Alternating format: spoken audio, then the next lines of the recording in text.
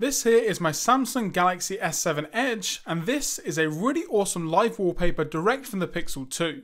Hey guys, Michael from Copper vs Glass, and today I'm going to be showing you how you can get the new Pixel 2 and Pixel 2 XL wallpapers on any Android device. And to be honest guys, this is super simple to do. The first thing that you want to do is install the official wallpapers application direct from Google. Now this is a great wallpaper application regardless with some really awesome imagery and you've also got the option for daily wallpapers so I would just in general try this wallpaper application out and as you can see around 10 million people have had the same idea and it's actually quite a popular application. The second thing that you need to do is download the APK file that's going to be linked in the description down below and it is simply titled Pixel Wallpapers 2017 ports.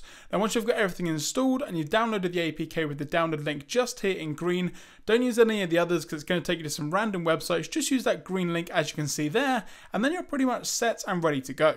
So once you then go back to your home screen, you can then direct yourself to the Wallpapers application from Google, or you can do it from within settings, which I'll show you in just a moment.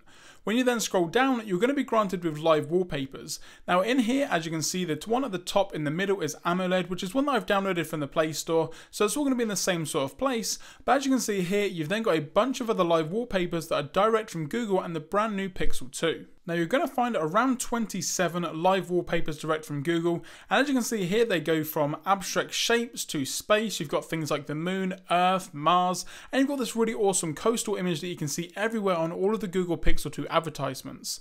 Now as you can see here you can also long press on your screen and head into the wallpaper section to just put them directly onto your launcher just from a long press on your home screen whether you're using Action Launcher like I am or whatever launcher you're using as far as I'm aware it's all the same shortcut for Android. Now some of these examples that you're seeing here have also been sped up because the live wallpapers themselves don't necessarily go extremely fast. This isn't the kind of live wallpaper that is going to be moving all of the time. You're only really going to see little bits of movement here and there. So for instance, as you can see with this one, you've got the coastal line that moves, but really none of the other image does. Now some of it does have a little bit of stuttering for example, but that to me looks just like the live wallpaper refreshing in the background.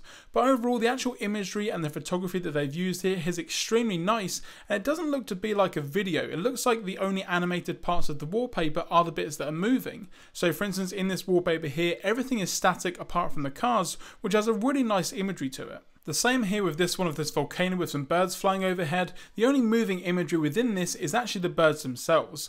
Now not all wallpapers are working at the moment because it is only a port, so some of the more abstract colours and shapes aren't necessarily working on my Samsung Galaxy S7 Edge and it does crash the application and you have to reload it, but the ones that matter and the ones that look really awesome like these ones here work perfectly fine and I've had no trouble at all. As always guys, everything from this video is going to be linked in the description down below and be sure to watch my last video on how I explain to get the Pixel 2 launcher on any Android device, whether you're running Nova Launcher, Action Launcher or the launcher direct from Google themselves. If you did enjoy this video, be sure to give it a thumbs up down below and if you've got any questions or comments, let me know in the comments section or on Twitter at Copper vs Glass. As always guys, thanks very much for watching and I will catch you in the next video. And don't forget guys, if you want to be one of the first people to see this video or future videos, then be sure to hit that subscribe button and also hit that notification bell to get notified anytime I post a new video.